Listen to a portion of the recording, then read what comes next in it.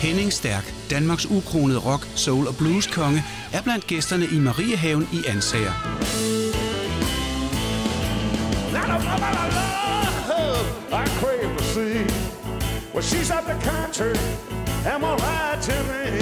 Desuden er der den finurlige troubadour Anders Mikkelsen, en lastbil så jeg et skilt med grise Skal jeg snøfte, eller skal jeg flise? Der var smil og krølle på halen for og bag og det skønne unge sangtalent Simone Iris.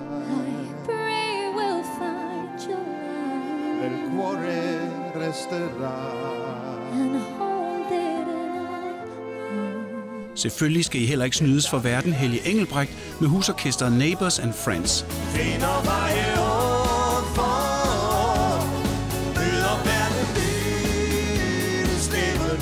Se med på DK4 i aften. Det var i